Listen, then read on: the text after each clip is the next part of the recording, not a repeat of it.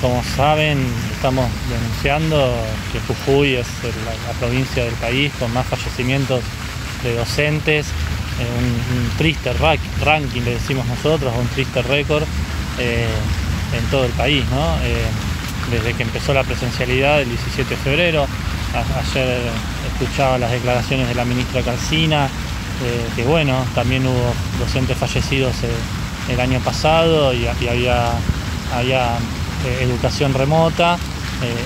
creo que la verdad que llena de bronca y de malestar porque es un, un destrato permanente, un maltrato y claramente no les importa eh, la vida de los trabajadores docentes como de ningún trabajador. Podemos hablar de lo que vienen sufriendo los trabajadores de la salud, que están en la primera línea, que son los que más le ponen el cuerpo a, esta pandemia y, vienen haciendo reclamos en todo el país, no solo en Jujuy. Eh, el año pasado recordaba, hay que recordar, la empresa Ledesma fue la empresa con más muertos obreros por, por COVID, también otro lamentable récord en, la provincia y es una provincia que tiene eh, el índice de letalidad más alto de todo el país. esto ya se pudo observar el, año pasado y con tantas muertes que se reflejaron, pero puntualmente en la docencia actualmente hoy por hoy ya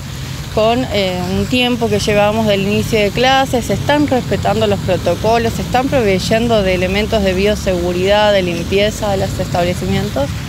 No, ¿no? Y, lo que se provee es completamente insuficiente y gran parte se, consigue gracias a, la cooperadora, o sea, el aporte de familias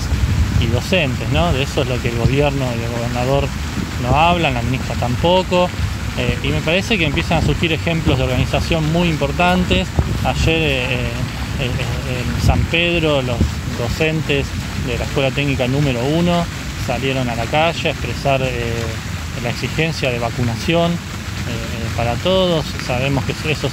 ese ejemplo empezó a replicarse en otros lugares de la provincia y bueno, nos parece que, es, lo que hay que hacer, ¿no? organizarse desde cada escuela, los docentes, las familias, que somos los principales damnificados, eh, para, juntar fuerzas, unir fuerzas y también desde ahí exigir e imponer a las conducciones sindicales que necesitamos un plan de lucha entre todos porque, porque la situación no es la misma, la de Jujuy hoy a nivel de contagio, eh, eh, que la del AMBA, pero sabemos que la segunda ola ya se está instalando en el país y que,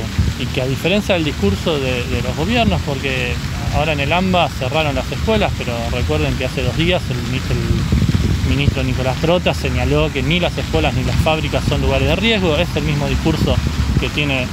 el gobierno provincial. Entonces nos parece que, desde los gobiernos se deslinda la responsabilidad en las reuniones sociales, en cuestiones individuales, pero, pero hay una responsabilidad del Estado eh, en, cuanto a, qué medidas tomar, que tienen que ser medidas de conjunto, ¿no? que hacen a la vacunación, que hacen a restituir el IFE para los sectores eh, más humildes, que se ven afectados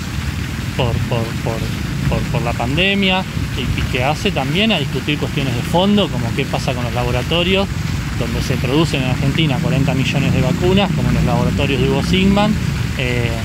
pero se, van al exterior para el negocio de algunos pocos empresarios y ahí necesitamos que se declare de utilidad pública, como viene planteando el Frente de Izquierda, de utilidad pública a los laboratorios, porque la Argentina tiene capacidad para producir las vacunas que están faltando para, para el pueblo y para los trabajadores. Entonces nos parece eh,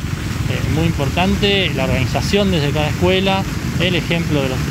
docentes de San Pedro creo que es algo que tiene que replicar desde cada escuela porque se necesitan condiciones seguras, como vos señalabas, porque, porque no están todos los elementos que necesitamos. Necesitamos más testeos por parte de que el, índice de letalidad sea más alto. El, gobierno se tiene que hacer cargo. O tiene el índice de letalidad más alto de muertes o no testean nada. ahora Andrés, respecto a la situación, ¿no? En particular de la provincia, eh, y la situación epidemiológica que sabemos que fueron aumentando los casos, que por ahí la falta de testeos hace que no se refleje un real número, ¿no? Pero más allá de, esto y teniendo en cuenta eh, la capacidad en los hospitales, que ya están en un 70-80%, si no es un poco más, eh, en estas últimas dos semanas, ¿hubo un aumento de contagios en las escuelas de COVID? Mira, eso no lo, no lo digo yo, lo dicen los propios organismos oficiales, que a partir de la Semana Santa crecieron en un 30%, digamos los llamados al 0800 que se puso para desde el Ministerio de Educación para los casos en la escuela crecieron un 30% desde la Semana Santa y se calcula un promedio al menos de 40 eh, llamados por casos sospechosos desde las escuelas. Entonces es difícil mantener un relato donde los propios datos oficiales, un relato de que las escuelas no pasa nada, cuando los propios datos oficiales son los que, que plantean que hay, eh, van creciendo las denuncias por casos sospechosos de COVID desde las escuelas.